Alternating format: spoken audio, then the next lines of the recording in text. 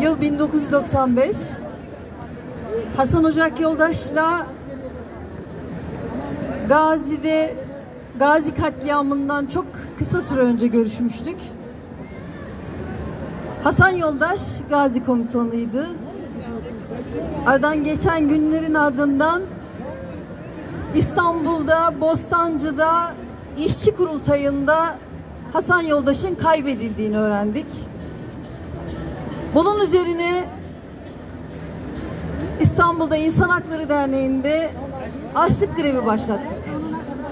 Açlık grevi, grevini bir grup tekstil işçisi olarak başlattık.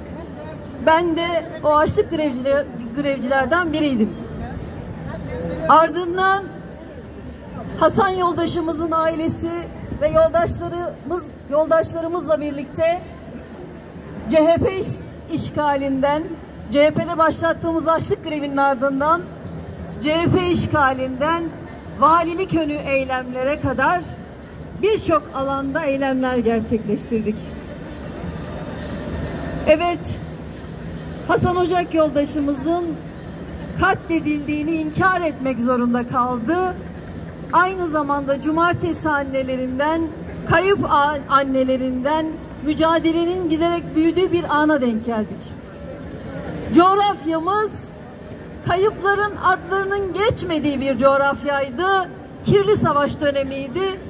Hasan Ocak Yoldaş için başlattığımız bu kayıplar mücadelesi hem Türkiye'deki devrimci hareketin hem de Kürdistan'daki kayıpların adlarının anılmasını, hesabının sorulmasını açığa çıkardı. Kayıplar mücadelesine emeğe geçen, arka cepheden kayıplar mücadelesini örgütleyen, adı çok bilinmeyen, Rojava'da yaşamını yitiren Bayram Namaz yoldaşımı, şehit yoldaşımı saygıyla anıyorum. Yine kayıplar mücadelesinin arka cephesinde olan, kayıplar mücadelesini yöneten, adı çok geçmeyen sevgili yarimin işkencede katledilen Süleyman Yeter'i anıyorum. Evet, kayıpların hesabını dün 95'lerde sormak için başlattık. Enternasyonel dünyanın birçok yerinde kurultaylarla devam ettirdik. Dünyanın kayıpları bizim ülkemizin kayıpları oldu. Bizim ülkemizin kayıpları dünyanın kayıpları oldu.